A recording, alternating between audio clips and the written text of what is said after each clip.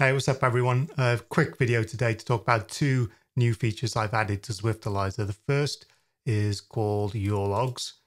This is a table of all the logs you've ever uploaded to Zwiftalizer.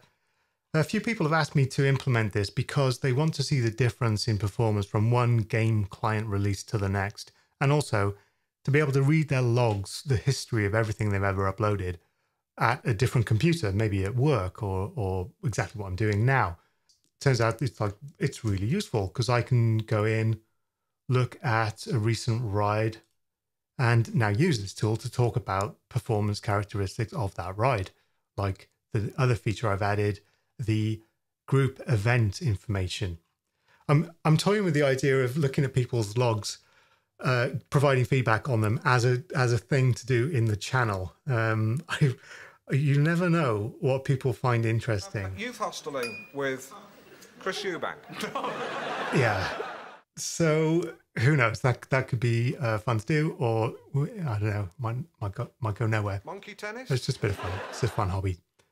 Okay, group events. So I've pulled up the name of the event, the subgroup name, like whether you're in Group A, Group B, Group C, Group D, start time, whether or not braking was available during that event, whether or not steering was available, rubber banding V2 on or off, just simply pulled it out of the log. I'm not going to go into all the details of what that means because, to be honest, I really don't understand. Really don't understand why that would be on in a race when I, I think rubber banding is to keep the group together. And then finally, whether or not you joined the group event late. One other thing while we're here, up in the top right there, video screenshots disabled or enabled. On the PC, I would advise disable video screenshots to get the maximum graphics frames performance, the maximum smoothness out of the game. There's an impact on the CPU when you've got video screenshots enabled. This seems to be on the PC only. On the Mac platform, iOS, I think that it's fine. You don't need to disable it there. Don't know. Let me know in the comments if, if you see a difference on the Mac.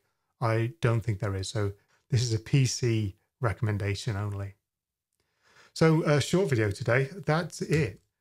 Uh, please use the comment section below if there are features, ideas for features that you'd like to see added to the tool next. And please like and subscribe to support the channel.